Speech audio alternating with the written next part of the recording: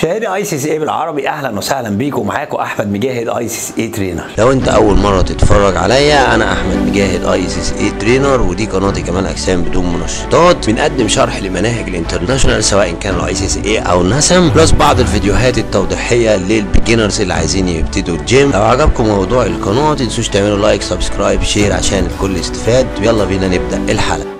النهارده هنتكلم على عضلة تانية من عضلات البطن ألا وهي ال transverse. transverse عضلة عبارة عن corset كده لامم البطن بجواها بقى المعدة والكلى والكبد والكلام اللي أنتوا عارفينه ده كله عشان يبقى close يا ترى إيه هي العضلة ديت وازاي نقدر نستهدفها وازاي نحطها من ضمن البرنامج بتاعنا وأنا بلعب عضلات البطن؟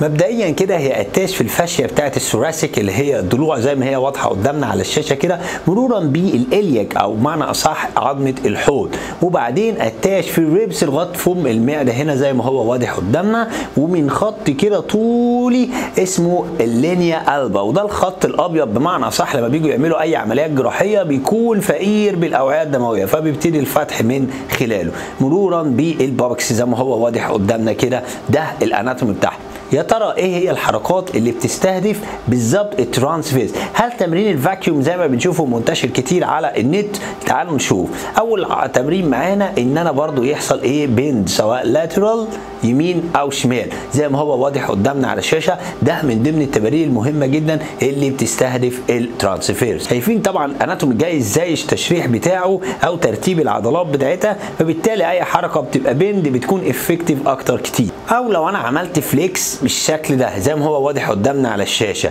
زي ما بلعب ال abs أو crunch عادي ده تمرين مهم جدا يستهدف ال transverse برضه لسه ما جيناش ناحية ال vacuum لأن الحتة اللي في النص دي كلها زي ما إحنا شفناها عبارة عن fascia والعضلات زي ما قلنا إن هي جاية من ال ribs وال iliac وهنا كله عبارة عن fascia لو نلاحظ على الشاشة في ثقب هنا كده خلينا فاكرينه كويس قوي لأن ده هيمر بيه عضلة ال rectus abdominis لما نيجي نشرحها. الأكشن رقم ثلاثة اللي ممكن يكون effective قوي لل transverse ألا وهو ال rotation زي ما هو واضح قدامنا على الشاشة كده.